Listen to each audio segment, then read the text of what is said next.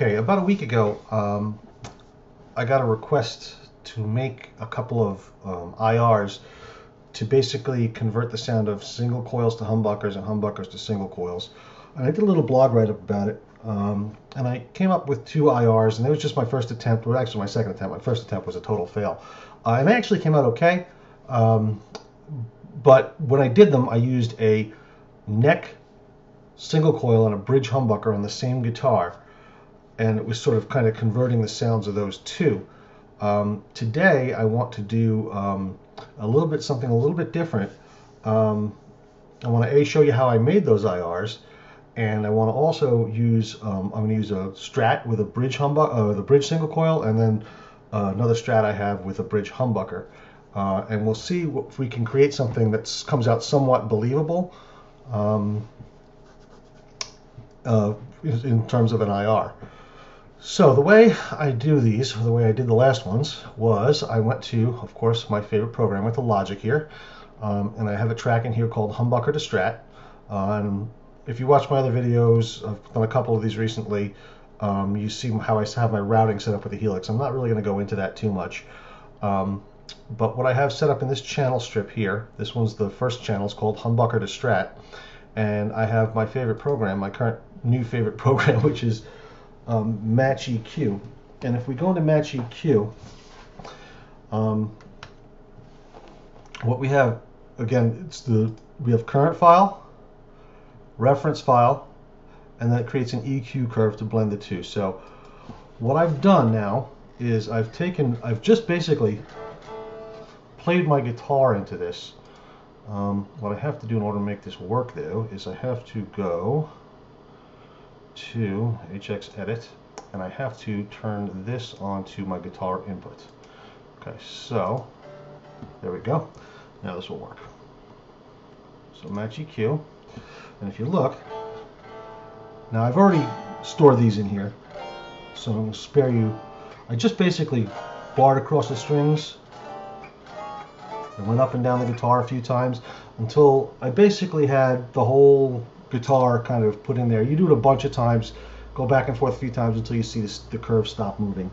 So I did this one with the humbucker, and then this one with the single coil. So again, if you'll remember, it takes your current file, and then it takes your reference file, and it applies an EQ curve to make the current file sound like the reference file. So this is the EQ curve it came up with. Again, there's smoothing options on here. I'm going to make this pretty articulate sounding because I want the big dynamics in this. So I did that, and then on, on the uh, reference file, I, I used my Strat with the uh, with the bridge single coil. So we have two very different sounds, and I'm going to go back into HX Edit really quickly. Change this back to USB 3. What we're going to do real quick now is we're going to sweep these into IRs. So let me go and launch my impulse response utility, put on a test tone, and I've got my tone, so we know this is working, and I know, because I fiddled with this before I started making the video, so we're not screwing with all day, I know that this has to be at about minus 35. Minus 35.8 is where I had it last time. Okay, so otherwise it clips. So now we're going to arm the track to record, and we're going to press sweep, and we're going to get our impulse response.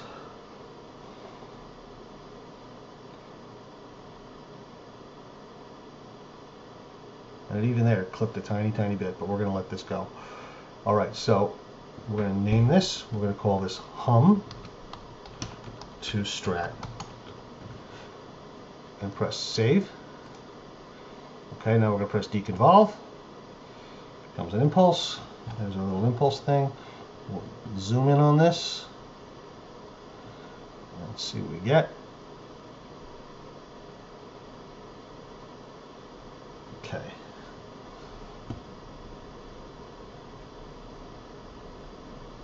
Alright, so then we're going to crop it from right about here to right about there. And we'll press crop press create setting, hum the strat, press OK, created the file, remember your path, OK, we're done with this one. Now, let's go file, just because we know we're going to have to do this. New. Don't save. Okay.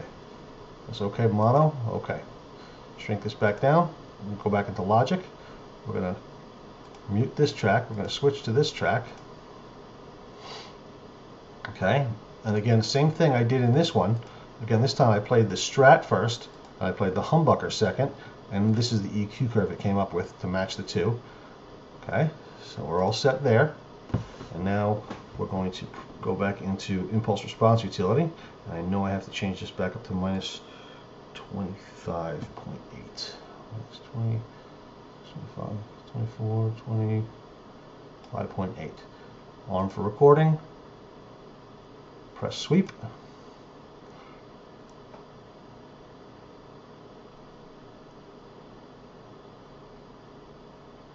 And down she goes.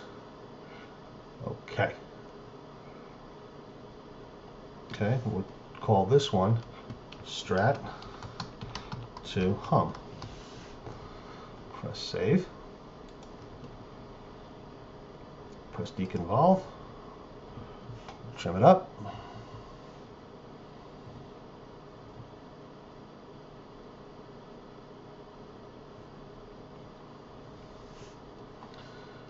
Just like the last one. Make sure they're even on both sides. Looks pretty good. Crop. Create setting. Okie dokie smoky. Press OK. And we have created two SDIR files. Now, cancel. Shrink this down. We'll open up Audacity, which is apparently I closed it. I gotta open this up. Okay. Open up Audacity. Okie dokie. File. Open. I hum the strat, SDIR, press open. OK. File. Save other, export as wave. Save. OK. Out it goes. Next. File. Open. Strat to hum. Open. OK. File. Export as wave. Save. OK. And out goes that one. Okie dokie. So, let's close this up.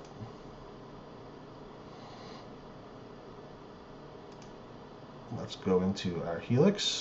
Okay, so I'm going to go into HX Edit, and I go to my impulses, and I've loaded these up into 36 and 37. 36 is hum to strat, and 37 is strat to hum. And I've got a patch set up here with a jazz rivet and an impulse that I can, it's on a foot switch, I can switch it in and out. All right, so we've got the hum to strat one loaded up, and this is the humbucker guitar we recorded it with, and here is the the pickup without the impulse response.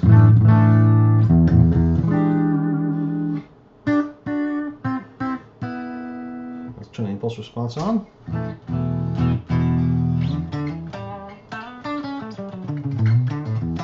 With it off. Back on.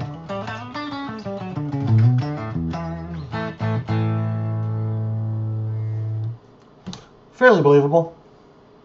Let's take the other one and let's go the other way. So now I'm going to put the humbucker guitar down. I'm going to pick up the Strat guitar, plug the Strat guitar in, we're going to switch this to Strat to hum. I'm going to turn it off. And I'm on the bridge pickup, same guitar I recorded the impulse with. I'm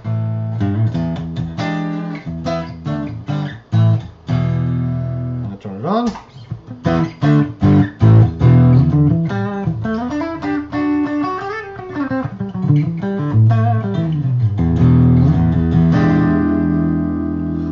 On, that's, that was on, this is off.